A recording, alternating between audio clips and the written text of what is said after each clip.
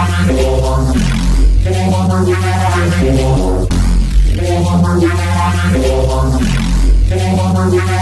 know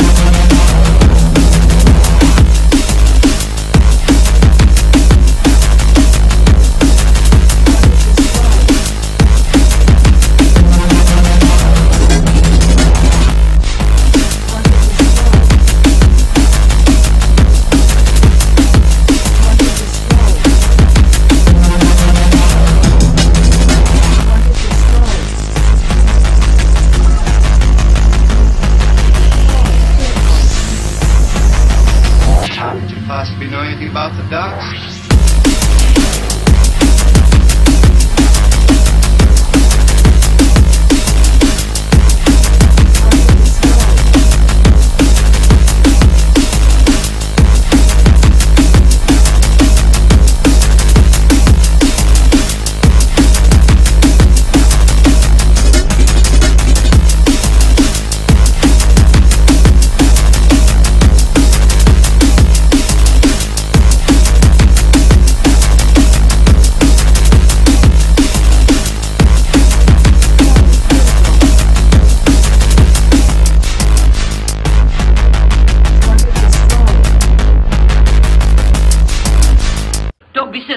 Difference between light and dark, except the lights are out.